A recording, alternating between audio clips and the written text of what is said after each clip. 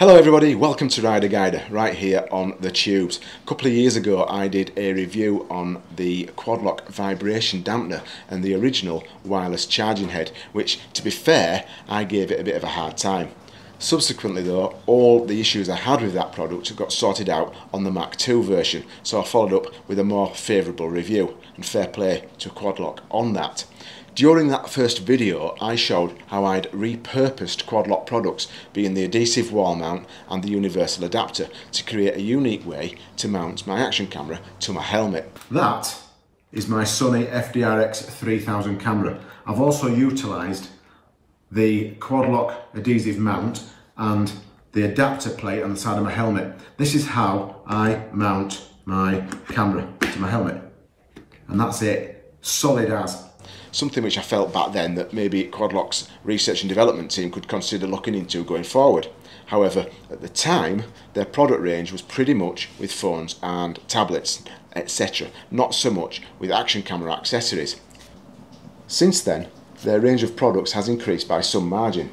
A reasonably recent addition is their superb foldable tripod, which, if you're that way inclined, also works very well as a selfie stick, but in its standard form it only accepts a quadlock cased equipped phone.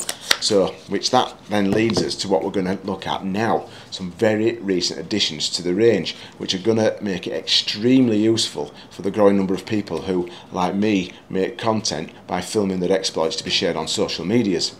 First up, this action camera to quad lock adapter. Here we can see alongside her quad-lock cased iPhone 15 we have Mrs Rider Guider's Insta360 One RS. When we combine it with quad-lock's dual pivot arm you can see how you can mount it in the same way we mount our phones and then we're able to easily adjust to the desired filming angle.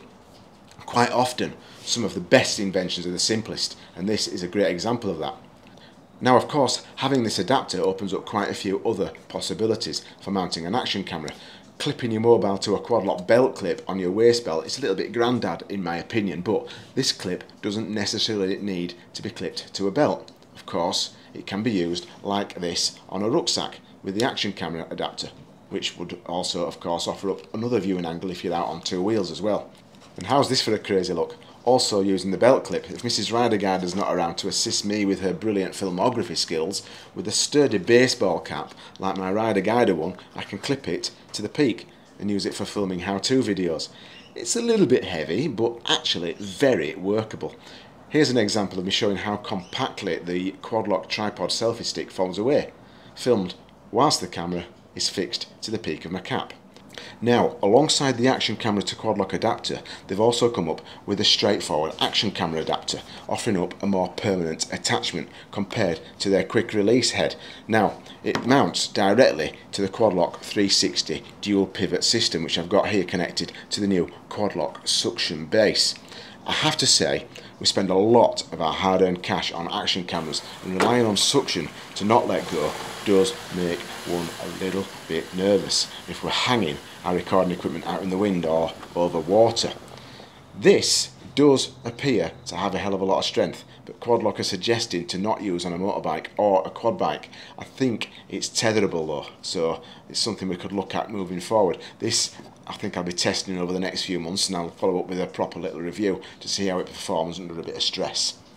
It's certainly cool for filming shots from or within a car and no doubt watercraft as well. So that's it for this one. Please comment, like, subscribe, etc. And as mentioned earlier, you can support the channel from anywhere in the world actually through Buy Me a Coffee, link in description. And if you're in Australia, you can also hit me up for a top quality Rider Guider baseball cap. Sadly, I'm unable to send these overseas from here because postage costs ridiculous. So again, if you're down under, drop me an email at theriderguider at gmail.com and we'll sort you out. Legends all. Thanks for watching. I'm Neil. See you on the next one.